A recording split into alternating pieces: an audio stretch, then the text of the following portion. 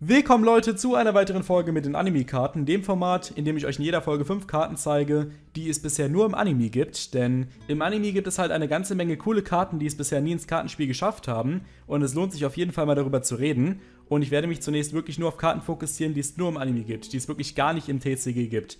Denn es gibt auch eine ganze Menge Karten, die halt im Anime einfach nur andere Effekte haben. Aber die finde ich persönlich nicht so interessant. Mir geht es mehr um Karten, die es wirklich gar nicht im Kartenspiel gibt, weil die halt vollkommen neue, innovative Effekte haben. Und ich stelle mir in diesem Format die Frage, ob diese Karten halt wirklich das Spiel bereichern würden oder ob sie ihm schaden würden. Und ich würde sagen, ich wünsche euch jetzt viel Spaß mit der ersten Karte.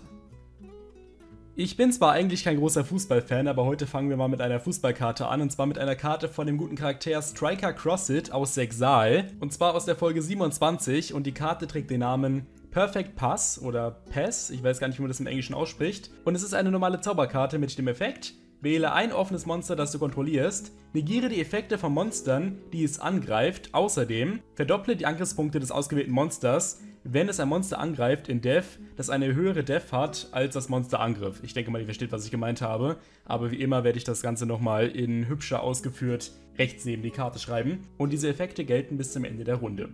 Das heißt, man kann damit quasi safe egal was angreifen und eigentlich auch safe gewinnen. Was ich persönlich eigentlich schon mal ganz interessant finde, denn man macht hier quasi einen Pass, ja, einen Fußballpass und der ist so perfekt, dass er safe zum Tor führt. Deswegen finde ich eigentlich die Backstory von der Karte recht interessant und die Umsetzung ist auf jeden Fall gut gelungen. Die Sache ist nur die, man kann auch Kämpfe damit verlieren, was ich ein bisschen schade finde, denn wenn ihr mit dem Monster, das ihr ausgewählt habt, ein Monster angreift, das in Attackposition liegt und was mehr Attack hat als ihr, dann gewinnt ihr den Kampf nicht. Das heißt, so perfekt ist der Pass gar nicht. Trotzdem finde ich die Karte auf jeden Fall eine coole Idee und die Anlehnung ans Fußballspiel, wieso nicht? Ich persönlich bin wie gesagt kein Fußballfan, aber ich finde es interessant, dass man hier quasi im Anime ein kleines Fußball-Themendeck erschaffen hat. Ich werde es allerdings nicht in einer Themendeck-Folge dran nehmen, weil es eigentlich wirklich zusammengewürfelte Karten sind, die nicht zwangsläufig an irgendein Thema gebunden sind. Die nächste Karte finde ich persönlich ziemlich random und zwar die Karte Wildheart. Und das Ganze ist ein Monster von Yusei aus dem Five Ds Anime, Folge 145. Und es ist ein Stufe 4 Monster mit der Eigenschaft Licht und den Typen Krieger. Und die Werten 1000, 1000 und Stimmeffekt. Wenn eine Monsterkarte von deiner Hand auf den Friedhof gelegt wird, kannst du diese Karte als Spezialbeschwörung von deiner Hand beschwören. Diese Karte kann deinen Gegner direkt angreifen. Wenn diese Karte diesen Effekt allerdings nutzt, dann wird sie zerstört am Ende des Damage Steps, was auf jeden Fall äußerst merkwürdig ist, aber es geht noch weiter. Wenn diese Karte vom Spielfeld auf den Friedhof gelegt wird durch einen Karteneffekt, außer durch ihren eigenen, kannst du sie als Spezialbeschwörung von deinem Friedhof beschwören, dann wird sie während der Endphase gebanished. Was ist das bitte für ein Effekt? Der ist dermaßen merkwürdig aufgestellt. Ich meine, ich habe so das Gefühl bei dem Effekt, du bekommst irgendwas, aber dann kannst du es irgendwie doch nicht richtig nutzen. Dann bekommst du wieder was aber du kannst es irgendwie doch wieder nicht nutzen. Weil du beschwörst die Karte, dann kannst du direkt angreifen, verlierst dann allerdings dein Monster wieder. Und wenn bald halt durch einen Karteneffekt zerstört wird, darfst du ihn wiederbeleben, aber dann verlierst du ihn wieder während der Endphase. Also was ist der Sinn von dieser Karte, Yusei? Ich verstehe es nicht. Die Karte ist komplett random und sie würde auch keinem Deck irgendwie großartig helfen. Ich meine, du kannst sie recht gut specialen. Das ist wohl ihre beste Eigenschaft. Aber den gesamten Rest des Effektes dieser Karte hier, den hätte man sich einfach schenken können irgendwie. Doch die nächste Karte ist was ganz Besonderes und zwar die Karte Subspace Battle und ich finde die richtig cool gemacht irgendwie, aber sie wäre auch ziemlich mächtig. Und zwar wird die benutzt von Jaden im GX-Anime Folge 180 gegen Yugi und das Ganze ist eine permanente Zauberkarte mit dem Effekt. Beide Spieler zeigen jeweils drei Monsterkarten von ihrem Deck hervor und zwar gleichzeitig, aber immer nur eine auf einmal. Jedes Mal werden die beiden Monster dann verglichen und der Spieler, dessen Monster einen höheren Angriffswert hat, darf die Karte der Hand hinzufügen und der Spieler, der ein Monster vorgezeigt hat, mit weniger ATK, der bekommt 500 Damage und das Monster wird auf den Friedhof gelegt. Und ich frage euch Leute, was passiert, wenn die beiden Monster gleich viel ATK haben? Das steht auf der Karte gar nicht mit dabei. Aber okay, ähm, ignorieren wir das einfach mal, diesen kleinen Fehler. Ähm, diese Situation gab es halt im Anime scheinbar nicht. Aber wäre diese Karte wirklich gut? Ich bin der Meinung, ja, das wäre sie. Weil die Sache ist die, Leute, stellt euch mal die Karte vor in beispielsweise Blue Eyes. Die Karte geht einfach mal instant plus unendlich, weil ihr einfach drei Monster auswählen könnt, die scheiße stark sind, zum Beispiel Chaos Max oder so, und als ob der Gegner dann was Stärkeres vorzeigen könnte. Das wird einfach nicht passieren.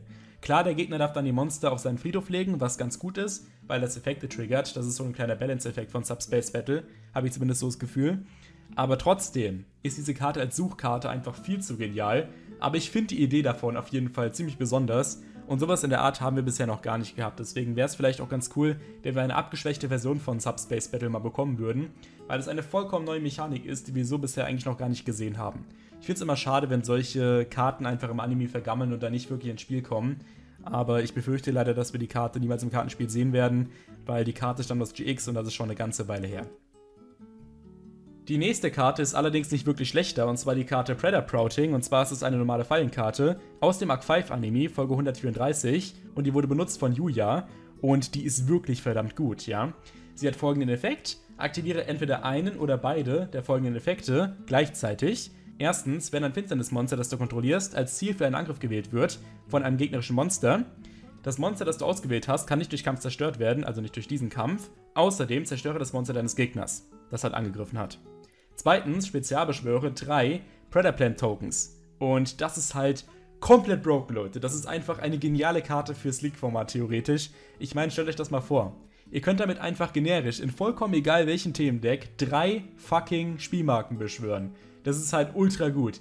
Ich meine, man muss dazu sagen, das ist quasi Scapegoat in etwas schlechter. Ähm, zumindest kann man das ganz vorsichtig so ausdrücken. Man muss aber dazu sagen, man hat noch einen zweiten Effekt, der, wie gesagt, Kämpfe gewinnen kann, was ganz nett ist. Und man beschwört damit drei Tokens. Und ich persönlich finde fast, dass drei Tokens manchmal besser sind als vier. Weil wenn ihr zwei Monster kontrolliert, dann könnt ihr Sündenbock schon nicht mehr aktivieren. Während Predator Prouting einfach easy aktivierbar ist, jederzeit, solange man irgendwie drei Plätze frei hat. Und dann kann man aus diesen drei Tokens einfach easy going einen Decode Talker bauen oder was auch immer. Irgendwas, wozu man gerade lustig ist, vielleicht auch ein Firewall Dragon, eventuell. Und das ist schon sehr, sehr gut im Link-Format. Also so eine Karte würde es so wahrscheinlich nicht geben. Wenn diese Karte nur ein oder zwei Tokens beschwören würde, wäre sie nicht so broken, aber naja, das ist halt nicht der Fall. Dementsprechend wird die Karte so nicht rauskommen, aber vielleicht bekommen wir sowas mal in abgeschwächter Form. Könnte ich mir zumindest gut vorstellen, weil wie gesagt, so alt ist die Karte noch nicht. Wie gesagt, Arc 5, Folge 134, das ist noch nicht allzu lange her. Doch die letzte Karte, die wir heute haben, möchte ich auf jeden Fall im Spiel haben, und zwar die Karte Trap Pause, und zwar wird die benutzt von Jack Atlas im 5Ds Anime, Folge 141. Und das ist eine normale Zauberkarte mit dem Effekt, negiere die Effekte von allen offenen Fallenkarten deines Gegners bis zur Endphase, dann ziehe eine Karte für jede Karte, die du negiert hast.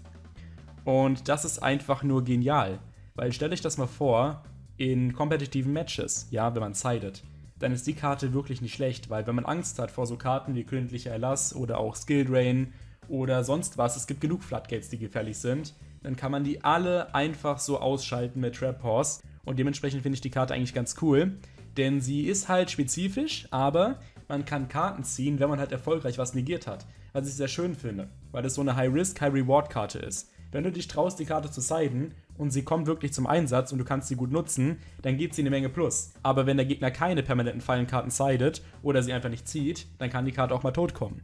Dementsprechend ist die Karte auf jeden Fall gut gebalanced und ich verstehe ehrlich gesagt nicht so ganz, warum wir die nie bekommen haben. Ich finde, die Karte wäre schon vor Jahren eine gute Idee gewesen, weil Floodgates einfach schon seit der Ewigkeit rumlaufen und die sind immer ein Problem. Und ich finde es schade, wenn man ein Duell verliert, einfach am erstbesten Floodgates des Gegners. Und da wäre so eine Karte auf jeden Fall ganz gut dagegen. Aber wie gesagt, High Risk, High Reward.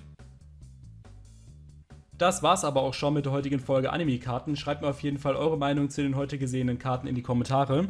Und dann würde ich sagen, sehen wir uns bald mit der nächsten Folge. Und es ist wirklich wichtig, dass ihr mir mal wieder Karten in die Kommentare schreibt, die ich mal hier erwähnen kann, die wirklich interessant sind. Weil es gibt gar nicht mehr so viele Karten, die da wirklich gut in Frage kommen. Viele Karten sind nämlich entweder zusammenhängend, das heißt, die müssten dann in irgendwelchen Special-Folgen präsentiert werden, oder sie sind einfach nicht interessant genug, weil sie halt einfach Effekte haben, die komplett austauschbar sind. Das ist leider bei vielen Anime-Karten der Fall. Und damit dieses Format noch eine Weile lang weitergehen kann, wollte ich euch mal ein bisschen fragen, welche Ideen ihr noch habt. Und an dieser Stelle auch nochmal Danke an meine Patreon-Spender. Mittlerweile ist da ja gut was zusammengekommen und es ist auf jeden Fall sehr, sehr hilfreich für den Kanal in Zukunft, weil so kann der Kanal auch in Zukunft noch gut weitergehen ohne Probleme. Und ich werde auch in relativ naher Zukunft bald ein Let's Play starten auf Patreon für die Spender als kleines Dankeschön. Und das werde ich dann nochmal hier richtig ankündigen. Und das wird ein Let's Play sein von einem Yu-Gi-Oh! Spiel natürlich und es ist einfach als kleines Dankeschön anzusehen. Und es kann sich auch dann jeder angucken, der irgendwie einen Euro donated hat oder so. Aber vielleicht ist es ein kleiner Ansporn für einige Leute nochmal über eine Spende nachzudenken. Und wie gesagt, das kommt dem Kanal auf jeden Fall sehr zugute, vor allem in der Studienzeit. Und dementsprechend finde ich, ist das eine gute Sache.